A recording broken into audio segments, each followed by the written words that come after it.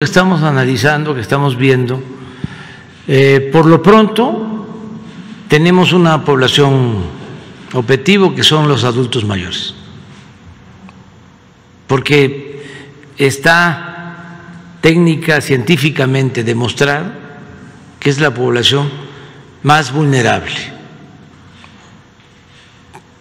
frente al COVID y también frente a otras eh, enfermedades. Entonces, las personas mayores. Entonces, no vamos a este, tomar ninguna otra decisión hasta terminar lo más pronto posible de vacunar a los adultos mayores. Esa es nuestra población eh, objetivo.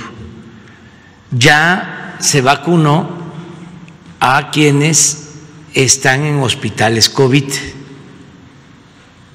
eh, enfermeras, este, eh, personal de limpieza, mm, los que eh, conducen ambulancias, desde luego los médicos, de hospitales COVID.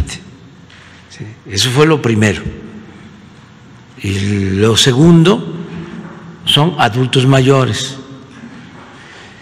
Por eso eh, nuestra decisión de reforzar el programa de vacunación, porque es un asunto de días, no vamos a demorar mucho. Si seguimos vacunando, como ayer, más de 500 mil,